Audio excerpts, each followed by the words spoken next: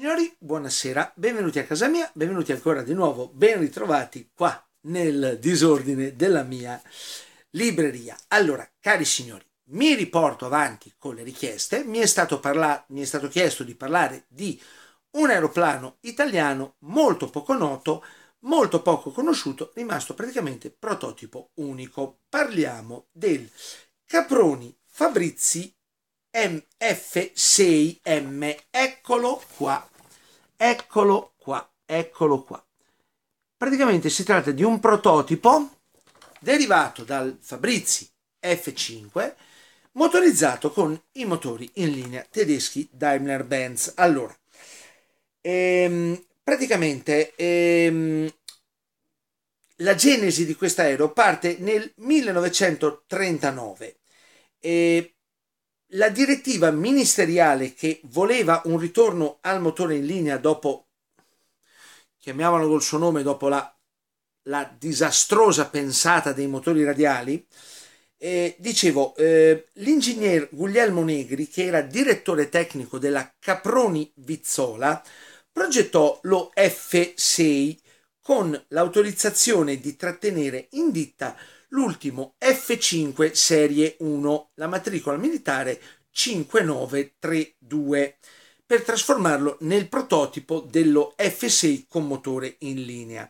Allora, ricordiamo che questi progetti portavano come sigla la lettera F in ricordo dell'ingegner Fabrizio Fabrizi, che era un tenente della Regia Aeronautica, ruolo ingegneri, che era il progettista del, di questi aerei, morto in un incidente aereo. Allora, come motore per, il, per lo F6M, eccolo qua, eccolo qua, ripeto, fu ehm, scelto il Daimler-Benz DB601A1, 12 cilindri a V rovesciata, da 1175 cavalli al decollo ehm, con il quale lo F6, talvolta indicato come F6 ala legno, per distinguerlo dal successivo sviluppo come F5 o F5 bis,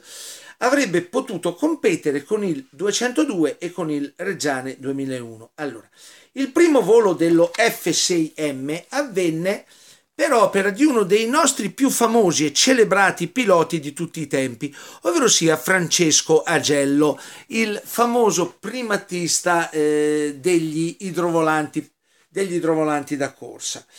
E, ehm, allora, il 26 ottobre Agello ebbe un lieve incidente che causò danni riparabili alla, alla macchina. Ehm, per inciso, agli gli addetti della verniciatura ehm, fecero un errore e ehm, stampigliarono eh, sul timone la scritta Caproni Vizzola 4 MM 5932 e per questo molte fonti lo citano ancora come F4. Allora, c'è da dire che la documentazione sui caccia della Caproni Vizzola è incompleta ma si ritiene che, vista la buona accoglienza data dai piloti all'F5, il gruppo Caproni avesse deciso di far partecipare la cellula dell'ingegner Negri anche ai successivi concorsi. Allora,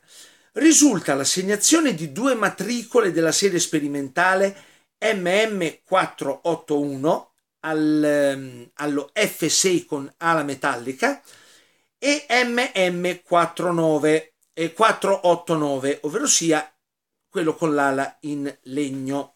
E poi ci fu forse il 5932 ricostruito e modificato.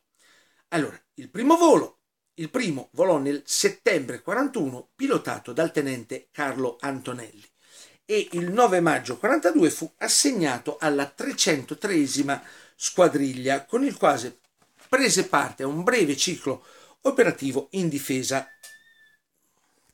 Allora, a dire il vero, non esistono fotografie che consentano di attribuire, di attribuire eh, con certezza, cioè insomma non ci sono fotografie che, con, che scusate mi sono impappinato, dicevo, non esistono fotografie che ritraggano con certezza la, l'aereo con la matricola militare 489, ma sappiamo che in una data imprecisata, ma non prima del maggio 42, il collaudatore Sante Moda portò in volo un F6 con il motore DB605.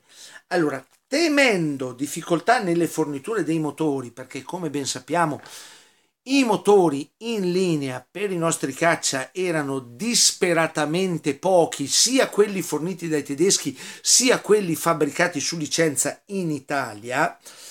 E ehm, la direzione generale costruzioni aeronautiche richiese all'industria delle soluzioni alternative e così furono progettati il caccialeggero F5 Gamma con motore Isotta Fraschini Gamma da 540 cavalli che ovviamente venne abbandonato prima della costruzione perché praticamente non si sarebbe sollevato in aria. Cioè dove vai con, con 540 cavalli? Vabbè lasciamo stare. E poi l'F6Z definito il 16 giugno 1942 che prevedeva un Isotta Fraschini Z RC45 24 cilindri a X raffreddato ad aria da 1250 cavalli. Allora, dell'F6Z fu ordinato un prototipo, ovvero sia il, lo MM, la matricola militare 498, e probabilmente ne fu previsto un secondo in versione silurante, il cui progetto riporta la data del 23 giugno 42. Allora, L'aereo, l'F6Z con la matricola militare 498 uscì di fabbrica nel luglio 43, ma il 9 settembre fu sequestrato dai tedeschi prima che Moda avesse potuto iniziare i collaudi.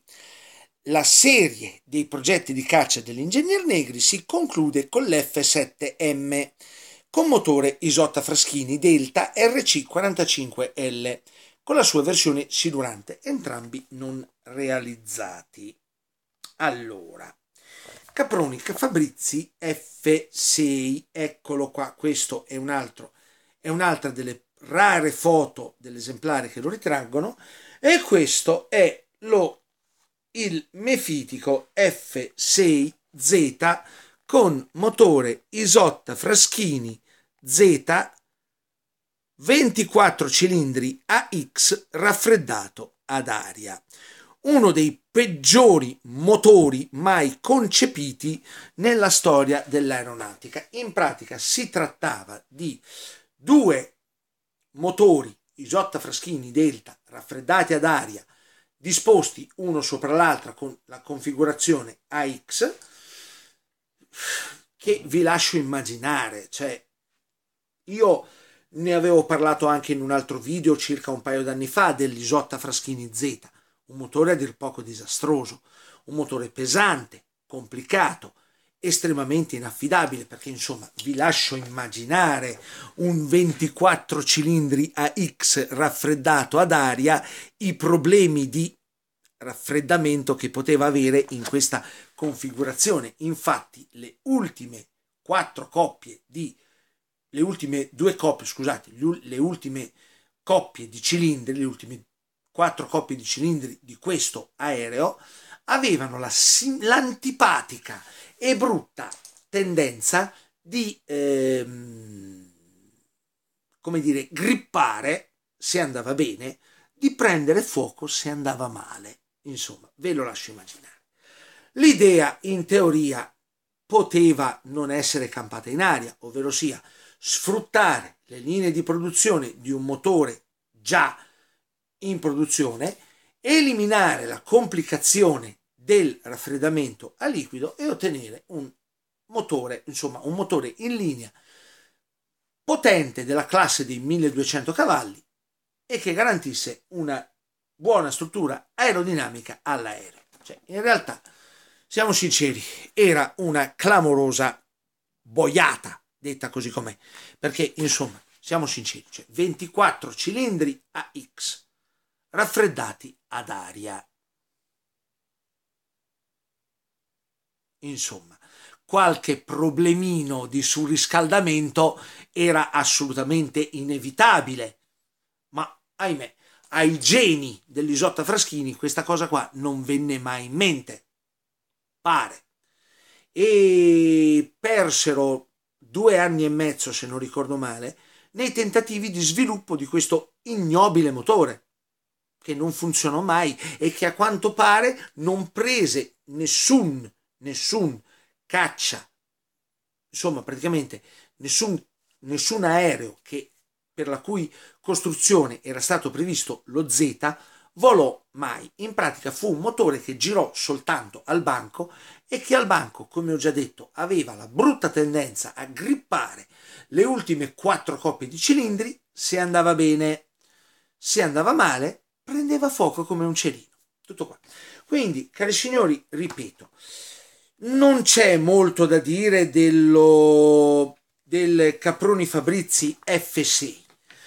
La struttura in sé e per sé era valida, ma oggettivamente non c'era molto spazio di manovra per fare concorrenza ad aerei come il Macchi 202 o come il Reggiane 2001 che avevano, siamo sinceri, caratteristiche migliori e, che, e la cui industrializzazione era già pronta.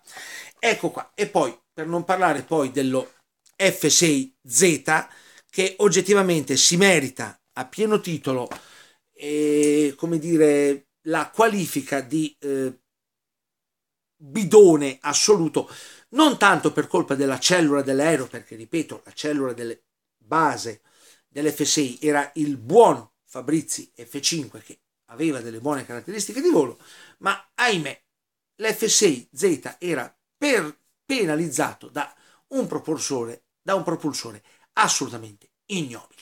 Tutto qua. Quindi io vi ringrazio come sempre per l'attenzione e tanto per cambiare, arrivederci al mio prossimo video. Ciao!